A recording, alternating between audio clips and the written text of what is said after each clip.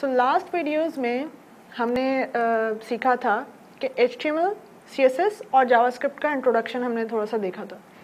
H T M L क्या है? H T M L से आप अपने आपके जो वेब पेजेस हैं उनका स्ट्रक्चर बनाते हैं। सी एस एस से आप अपने वेब पेजेस की स्टाइलिंग करते हैं। जावास्क्रिप्ट आपके पेज का जो भी बिहेवियर है वो सारा काम हम अचीव करते हैं जावास्क्रिप्ट से। आज का जो टॉपिक है हमारा वो है स्ट्रक्चर हमने देखना यह है कि आप अपने वेब पेज का स्ट्रक्चर किस तरह से बना सकते हैं।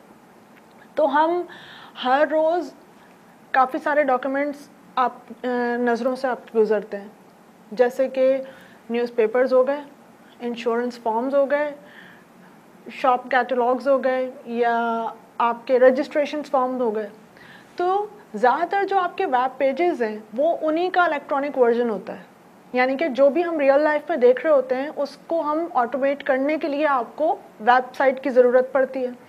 तो आम तौर पे यही सारी चीज़ों को हम ऑटोमेट करते हैं। तो in all kind of documents structure is very important चाहे किसी भी किस्म का डॉक्यूमेंट आप देख रहे हैं, उसके लिए सबसे इंपॉर्टेंट काम क्या है कि आप अपने जहन में ये सोचें कि इसका स्ट्रक्चर कैसे बनाना है।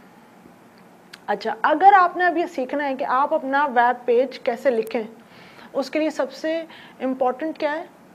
ये सोचना है कि वेब पेज का स्ट्रक्चर कैसे बनाएँ जब आप पूरा वेब पेज डिज़ाइन करते हैं स्ट्रक्चर बनाते हैं, उसके बाद दूसरा काम क्या होता है कि उस पेज की स्टाइलिंग अच्छा जब आप उसकी स्टाइलिंग अब ऑब्वियसली उसकी स्टाइलिंग आप सीएसएस से करेंगे।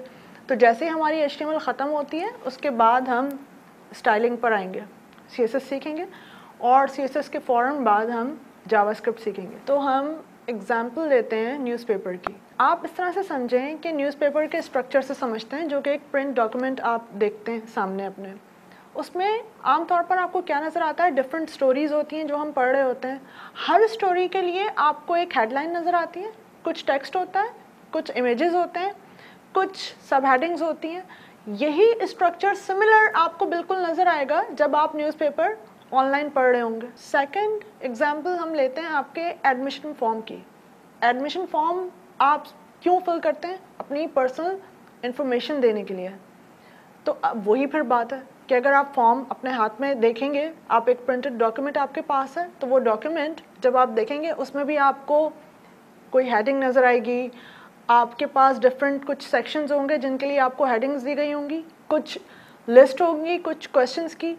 कुछ डिटेल्स uh, के लिए आपको डिफरेंट प्रोवाइड uh, करने के लिए कुछ चेक बॉक्सेस दिए गए होंगे जिन चेक बॉक्सेस को आप टिक uh, करते हैं। तो इसी तरह से जब आप वो डॉक्यूमेंट अगर आप चाहे वो प्रिंटेड डॉक्यूमेंट आप देख रहे हैं या आप ऑनलाइन फॉर्म फिल कर रहे हैं जो स्ट्रक्चर है स्ट्रक्चर विल बी सिमिलर